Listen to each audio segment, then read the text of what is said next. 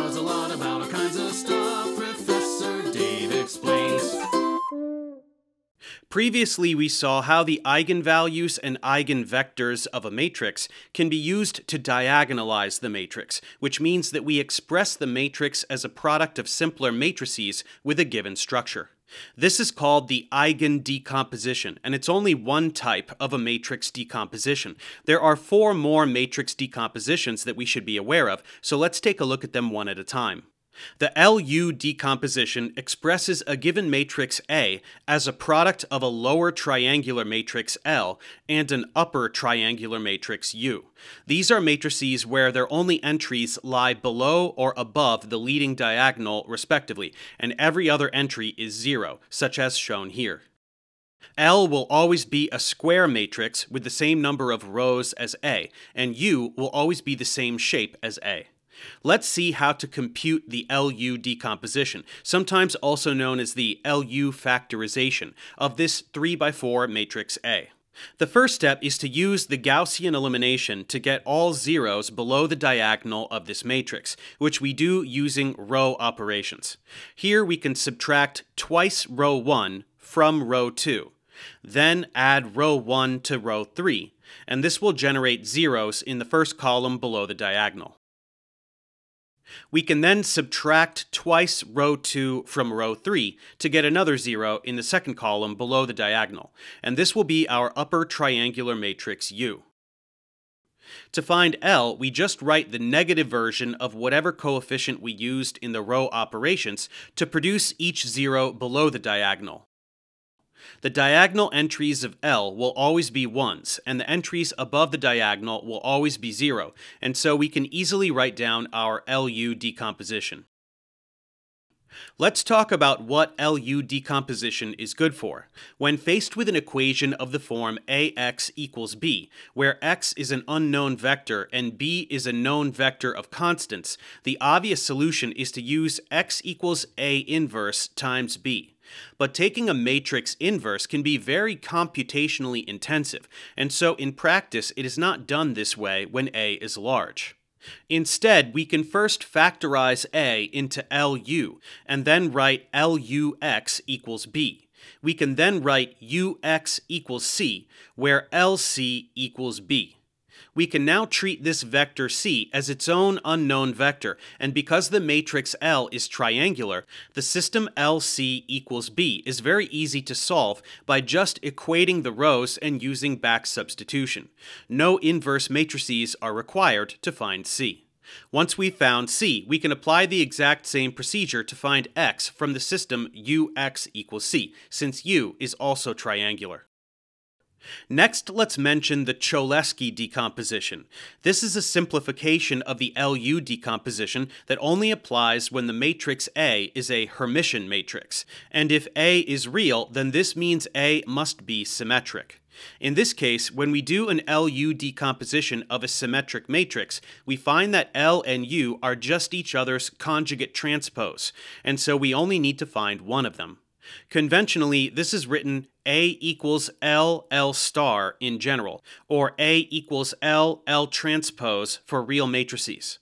The Cholesky decomposition is often used as a sort of square root of a matrix, since the matrix L multiplied by itself transposed gives A. Next up is the QR decomposition. For a given matrix A, we can write A equals Q times R, where Q is a rotation matrix, meaning its columns are all orthonormal vectors, and R is an upper triangular matrix.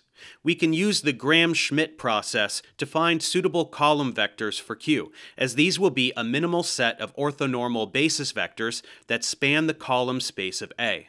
The number of such vectors we can find is equal to the rank of the matrix A, and this will be the number of rows in our matrix Q. Check out my tutorials on matrix subspaces and the Gram-Schmidt process if these ideas sound unfamiliar.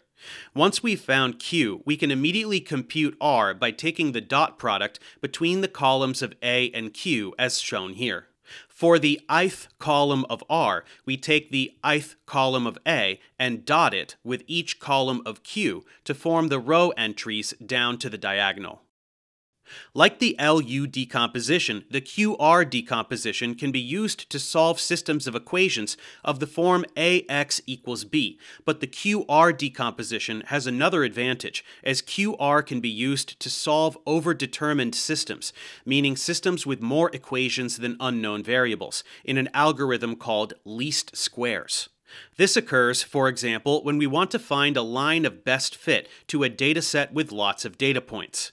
There is no one line that goes through every single point, but what we can do is find the line that minimizes the sum of squared distances from each point. To solve an overdetermined system, ax equals b, we write a equals QR so that Rx star equals C, where C is Q transpose times B. Note that because Q is orthonormal, its inverse is just its transpose, which again simplifies the computations. We can evaluate C and then solve the system Rx star equals C for x star using back substitution, as R is triangular. Here, x star represents the optimal solution for x that minimizes the squared Euclidean distance between ax and b. The last decomposition we will look at is called the singular value decomposition, or SVD for short.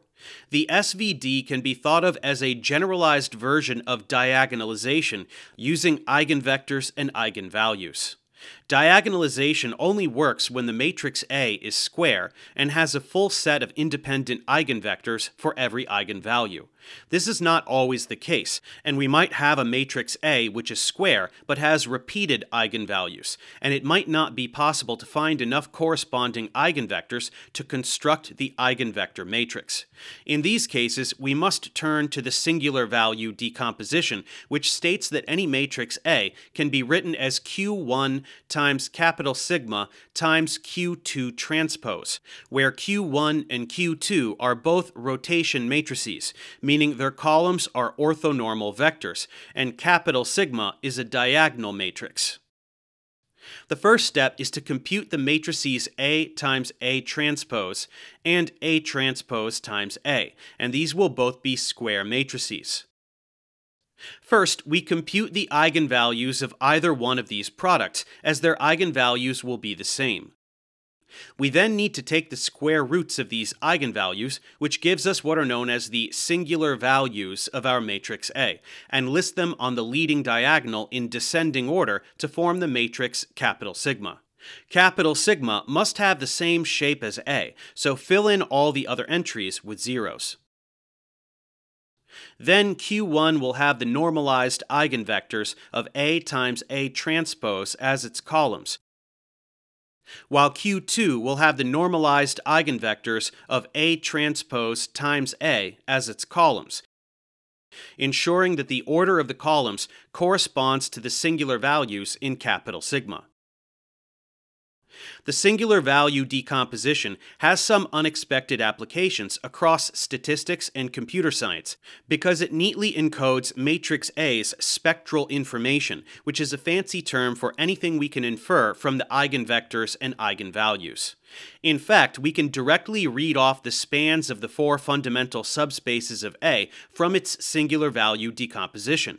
The column space and the row space of A is spanned by the first R columns of Q1 and Q2 respectively, where R is the rank of A, which itself is the number of non-zero singular values.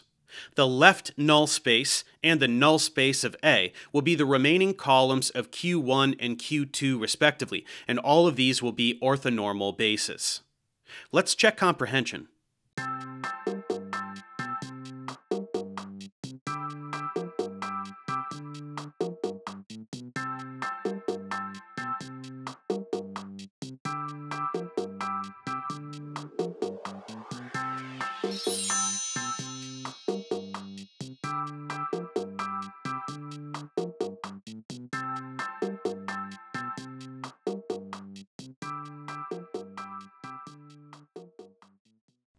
Thanks for watching. Subscribe to my channel for more tutorials. Support me on Patreon so I can keep making content. And as always, feel free to email me, ProfessorDaveExplains at gmail.com.